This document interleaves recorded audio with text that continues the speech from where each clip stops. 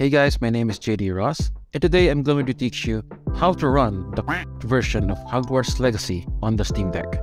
Let's start with the requirements. The first one is you should already have installed the game. If you don't know how to install Quack games on the Steam Deck, I'm going to link the video in the description. The second one is you have to set up your root password.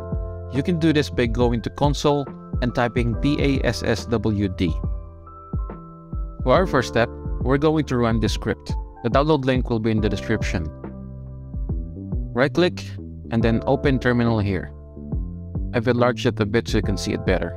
Type dot slash grub dash modifier dot sh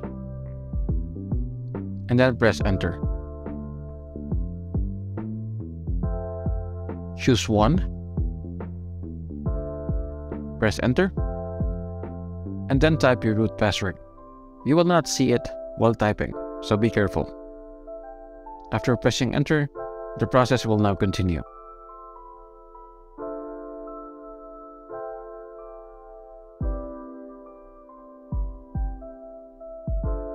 After that's done, your Steam Deck will restart in 10 seconds.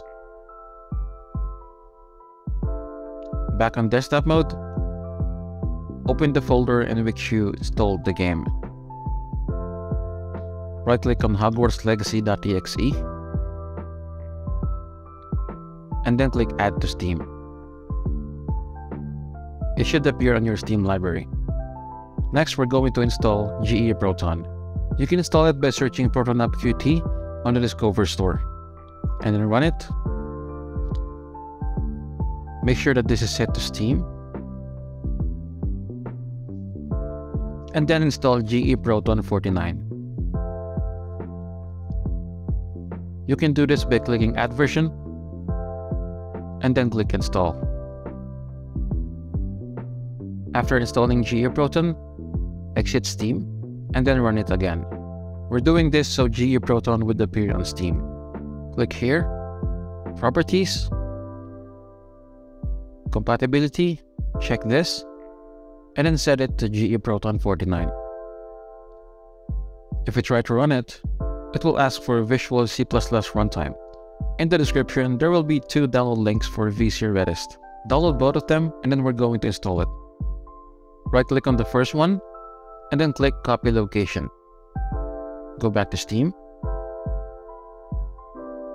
Properties. And then select this and then paste. Make sure to leave the codes intact. Do this here again. And then keep pressing backspace until it looks like this. Just like that.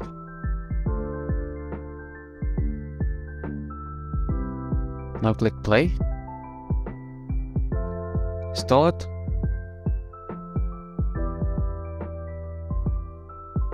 Go to properties again. Change 64 to 86. And then do the same thing.